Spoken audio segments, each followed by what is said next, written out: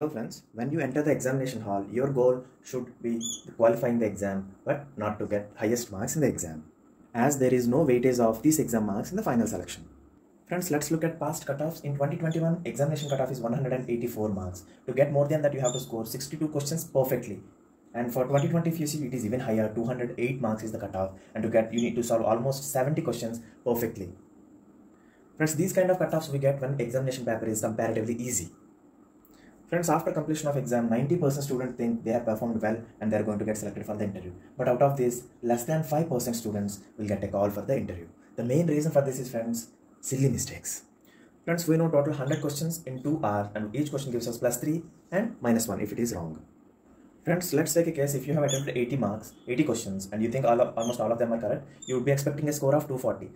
And 5 silly mistakes. 5 is the bare minimum silly mistakes committed by everyone. This is average many people commit even more silly mistakes. So if you if you commit five silly mistakes, five and each question costs you minus four marks. How? One negative for each question, and you're losing actual marks of those questions, right? Each question gives you three marks, and you're losing those three marks and one negative. So you will be losing 20 marks. So you will be getting a score of 220. For the same, if you consider for 70 attempted questions, you will be getting 190 marks. Friends, we must reduce the negative marking by increasing the accuracy out of the 100 questions 80 questions are conceptual and 20 questions are numerical. And out of these friends 5 to 10 questions take more time than the other questions. Friends you must realize you need to skip these questions because these consume more time. And here every question gives us 3 marks. So you should be able to ignore the questions which consume more time. And you have 120 minutes. I recommend you to consider first 100 minutes to solve questions. How many? You do not have to solve 100 questions my idea is to solve 80 questions with 100% accuracy because even if you do with 100% accuracy, 5 silly mistakes is the bare minimum. Silly mistakes committed by anyone. By this way, we will score more than 200 plus. But friends, do you have to attempt every time 80 plus questions? No friends. By solving the paper, you will be knowing the difficulty level of the question. Sometimes 60 questions with 100% accuracy is enough to get into the interview. Friends, before entering the exam, never ever put a target number of questions that you have to solve because it depends on the difficulty level of the question. Sometimes you have to solve 80 plus questions, but sometimes you all you need to do is just solve 60 questions with 100% accuracy, and there is a high chances for you to getting into the interview.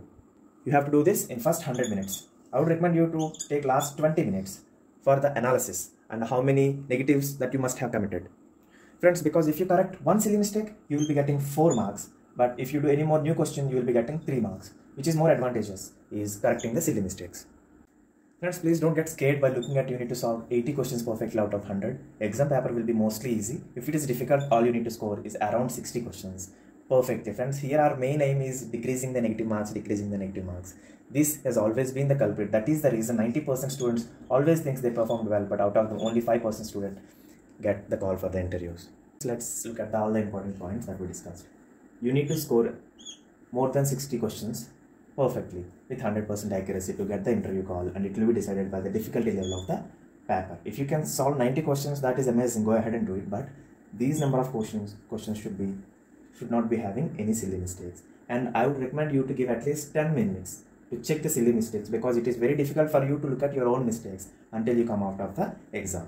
And third point is very important, friends, skipping the time consuming questions. 5 to 10 questions will be like this, which consume a lot of time. So you should be able to skip that. And always remember 80% are conceptual questions, which will be very easy and very tricky as well. So the, this is the region where you could be committing a lot of silly mistakes. And 20% problems, friends, by looking at the whole paper, you will be knowing how many questions you need to solve with 100% accuracy to get into the interview.